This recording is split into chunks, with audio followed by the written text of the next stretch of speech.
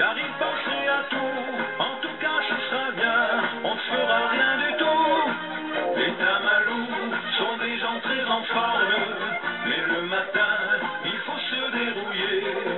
Lever les bras et garder le pied ferme. Recommencer, surtout ne pas forcer.